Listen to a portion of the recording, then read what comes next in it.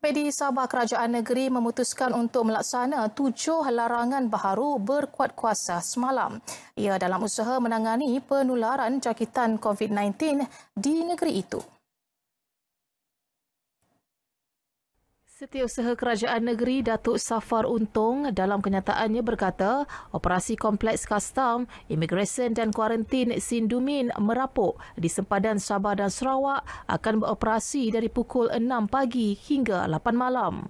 Ia selaras persetujuan antara Kerajaan Negeri Sabah dan Sarawak. Turut diputuskan pengurangan kekerapan perkhidmatan operasi kereta api Negeri Sabah.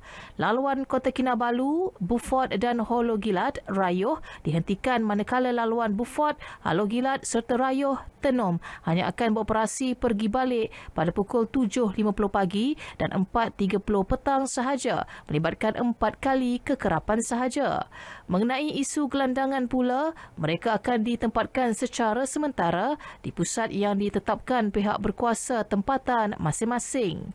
Selain itu, kerajaan negeri mahu semua ketua kampung, pengerusi majlis pengurusan komuniti kampung dan pengerusi jawatankuasa kesejahteraan dalam bandar melaksanakan perintah kawalan pergerakan di bawah seliaan masing-masing.